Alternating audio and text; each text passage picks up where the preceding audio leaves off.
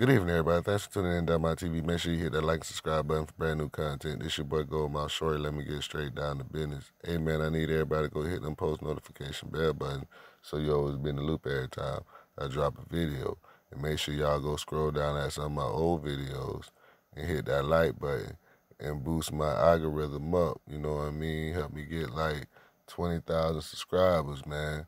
But yeah, let me get straight down to it. Today we finna talk about the legendary uh, R&B singer Nate Dogg's son Nhale. You know what I mean? Everybody know Nate Dogg was the king of hooks. You know what I mean? He cousins with Daz and uh, and Snoop Dogg. He was in that group two one three, and uh, his son got into some beef with uh, Almighty Suspect, another L.A. rapper.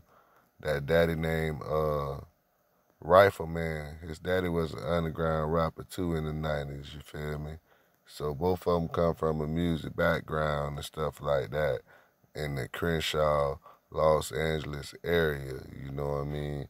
But Nhale ran into some smoke with Almighty Suspect when he was leaving the uh, studio and Almighty uh, Suspect came from nowhere and they slapped him, you know what I mean? They got caught on video and uh, they said it wasn't even Almighty. They said it was his homeboy.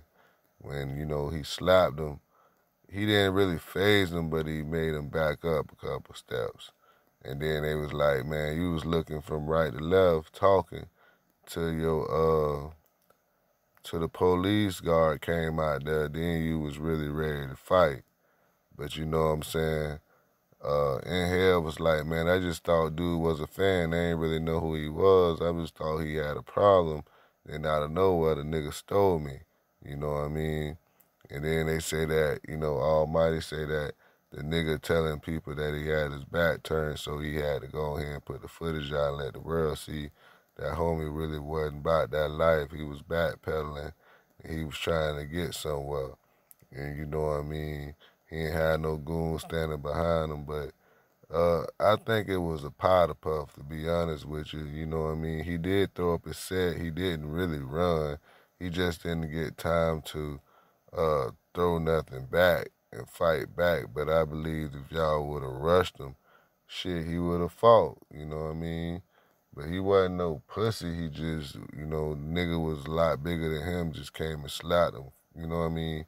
He wasn't ready for it. He was outnumbered. He was watching one nigga and the other nigga came and uh, slapped him up. That's what it looked like to me. But I don't think it's going to affect nobody's career. You know what I mean? Almighty, he on Instagram saying, yeah, I slapped a famous rapper son.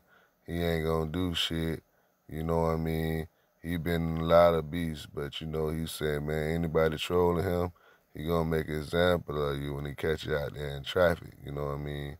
Cause he is a street nigga, and you know this music, it, it is what it is. But you know, he ain't taking it serious, man. He's finna start jumping on niggas' heads and stepping on niggas' neck, and then he gonna get in the music industry and get what he want. But for right now, you know what I mean. He just gonna keep applying pressure in these streets and running down on these guppies and exposing them. But he just put a diss record out too, uh, explaining the whole incident, you know what I mean? But y'all let me know what y'all think about Almighty Suspect slapping up Nhale Nate Dogg's son. And do y'all think it's gonna be any consequences for that? You know what I mean? Let me know what y'all think in the comments. Peace. I'm.